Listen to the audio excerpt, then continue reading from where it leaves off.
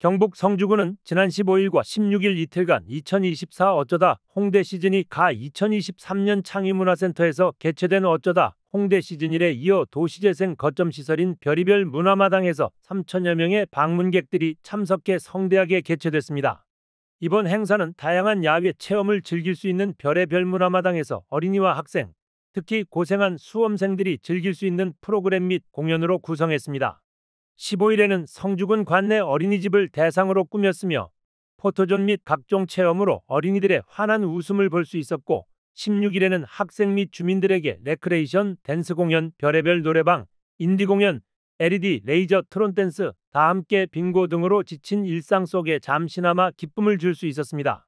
이병환 군수는 도시재생 사업으로 조성된 별의별 문화마당은 야외 체험과 행사를 즐길 수 있는 공간으로 조성된 광장이며 앞으로도 많은 주민들이 어쩌다 홍대 축제와 같은 야외에서 즐길 수 있는 프로그램을 발굴하고 지속해 나갈 것이며 모든 주민들에게 즐거움을 주길 바란다.